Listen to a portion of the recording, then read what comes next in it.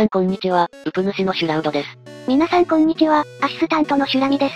今回は現在開催中の Amazon 新生活セールファイナルでの、自作パソコン系でのおすすめ商品をご紹介していこうと思います。たくさんの商品が出ているのでその中でも個人的に良さそうなものの紹介となります。皆さんの買い物の参考になればと思います。もしこの動画が少しでも参考になったら、ぜひ評価、チャンネル登録よろしくお願いします。もしかしたらすでに売り切れのものもあるかもしれませんがご了承ください。それでは行ってみましょう。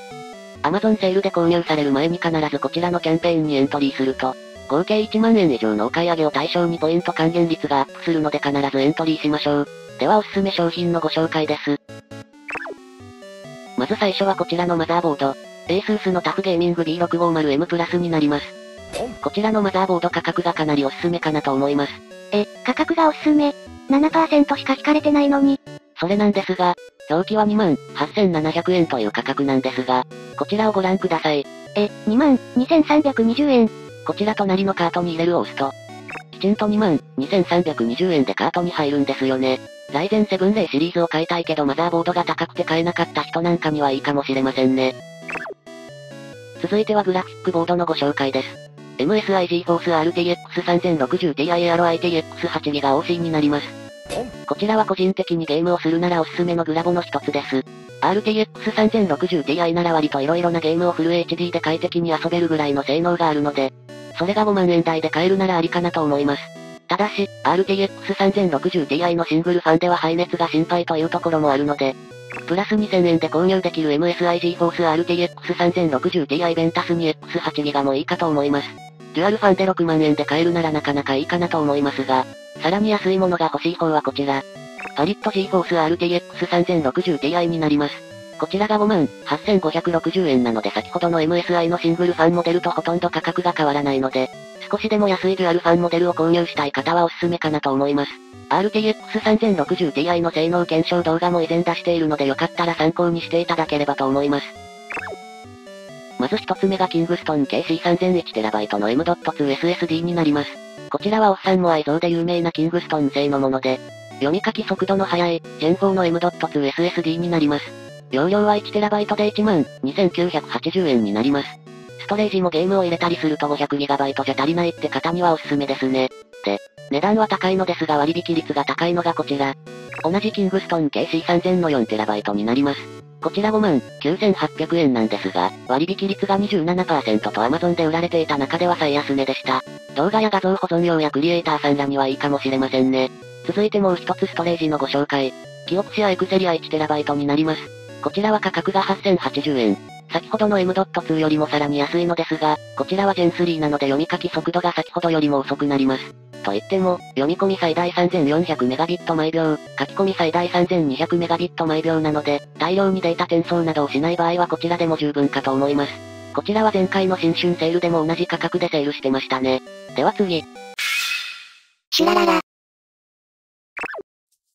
今回 DDR5 メモリが何個か良さそうなものがあったのでご紹介です。まずは CFD の DDR54808GB×2 枚で7780円になります。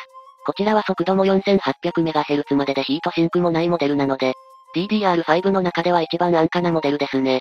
さすがにもう少し速度が欲しいなという方はこちら。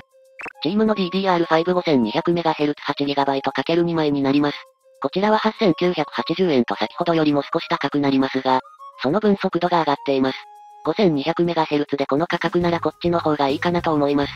こちらの商品は 16GB×2 枚でも16%引きの1万5980円で販売しており、32GB×2 枚のモデルでも21%引きの2万9980円で販売しておりました。32GB×2 枚で3万円を切るのもなかなかすごいですね。でもさやっぱりメモリも光らせたくない。そんな方はこちら。チームの DDR56000MHz デルタシリーズになります。こちらは速度が 6000MHz の 16GB×2 枚で31%引きの2万1980円になります。さらに速度の高い 6200MHz のモデルも17%引きの2万4980円になります。安くて容量の小さい DDR5 メモリを購入するものいいですが、使っているうちに速度や容量の多いものが欲しくなったりするのでこのくらいの容量を最初に買うのもありかなと思います。DDR5 が発売された当初は高値すぎてなかなか手が出ませんでしたが、最近では値段も落ち着いてきたのでインテルにしても AMD にしても DDR5 に変える人が増えてくるかもしれませんね。白いモデルも同じ価格なのでこちらは好みに応じて購入していただければと思います。モニターからはこちら、 BenQ ZOWIE XL2746K になります。こちらは解像度フル HD で、リフレッシュレートが 240Hz、DN 液晶でゲーミングに特化したモニターになります。価格は6万9800円と値段的には高めのモニターですが、私が今使っているモニターがこれと微妙に違う XL2746S というのを使っているのですが、Apex などの FPS ゲームはすごくやりやすいのでなかなかいいかと思います。こちらはベンキューモビウス EX2510S というモデルになるのですが、価格が3万3000円で、フル HD、24.5インチ、165Hz、IPS パネルとスタンダードなゲーミングモニターかなと思います。スピーカーも付いているので PS5 などのコンシューマー機にも使えるので、かなり万人受けするゲーミングモニターかなと思います。ただ、Amazon で今まで3万1000円ぐらいで出てた時もあるので最安値ではないのでご了承ください。シュラララ。ゲーミングノートパソコンからはこちら、ASUS ROG Zephyrus G14GA401QC になります。CPU は8コア16スレッドの AMD Ryzen 7 5800HS が搭載されており、メモリ 16GB、ストレージ 512GB に、RTX 3050ラップトップ GPU が搭載されたモデルになります。価格は26%引きの13万9800円。決して安い商品ではないのですが、モニターも WQHD で 120Hz までとゲームにも向いています。4月からの新生活に向けて、もしゲーミングノートパソコンが欲しいという方の候補に良ければと思います。キーボードからは ASUS ROG ファルシオンになります。こちらは価格が8980円なんですが、普通に購入すると1万8000円ぐらいの商品になります。65%のコンパクトキーボードでデスクも広く使えてゲーム等にもしやすいのですが、US キーボードなんですよね。私は普段こちらのシリーズ違いのファルシオンエースをゲーム時に使用していますが、ゲーム使用時はかなり使いやすいなと思います。US キーボードが使えないので編集時は日本語キーボードを使ってますが、ただコンパクトキーボードなのでマウスの可動域も増えるのでこの価格帯なら買っておいてもいいかなと思います。PD 充電器からはこちら青日の PD100W 充電器になります。こちらは価格が23%引きの5592円です。さらに5%オフクーポンもあるみたいです。こちらは私が普段ノートパソコンを持ち歩く時に一緒に持ち歩いているのですが、100W までの対応なので、外出先でノートパソコンを使用、充電するのにめちゃめちゃ重宝してます。他の 100W 充電器を持ってないので最軽量なのかわかりませんがそれなりに重さはあります。ただサイズはコンパクトなのでケーブルケースやちょっとしたポケットにも入ります。出力を2箇所同時に使うときは 65W と 20W に分かれるのでご注意ください。ただ 100W なのでノートパソコンだけでなく、ミニパソコンなんかにも使えます。続いては U グリーンの PD100W 充電器になります。こちらは価格が38%引きの5598円と先ほどのよりちょっとだけ高いですが、4ポート対応となっております。元値を考えると先ほどのより割引されているのでこちらもかなりいいかと思います。2つの USB-C ポート使用時はノートパソコンに 65W いくみたいですが、4ポート使用時はこの画像だと 45W までしかいかなそうなのでそこら辺は注意が必要かもしれませんね。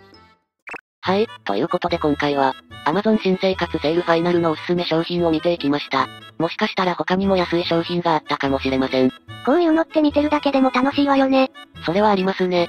もし他にもこんないいものあったよっていうものがあったら、ぜひコメント欄にお書きいただければと思います。ということで本日はここまで。もしこの動画が少しでも参考になったら、ぜひ評価、チャンネル登録よろしくお願いします。ご視聴ありがとうございました。